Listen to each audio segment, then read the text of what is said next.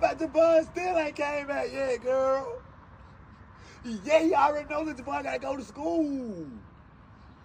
Girl, he's suspended out the boy because we sit right here on that train. We trying to see the train gonna start moving because girl, his school like two miles down. He said the train gonna be going the same way.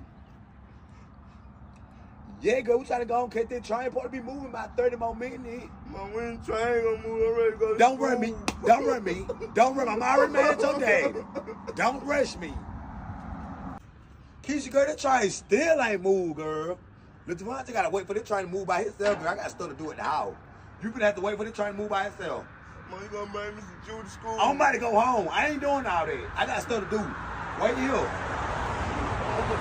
Let me try to run my way. Man, I'm gonna go with you, man. You ain't going with me. Wait for the train to move. It moving 30 more minutes. I'm gonna go with you. Mm, done. Wait right here. Train might move in 30 more minutes. You I don't go home. Wait right there. Don't do all that. That train might move in 30 more minutes. Uh, Wait right there. I'm gonna be back. uh.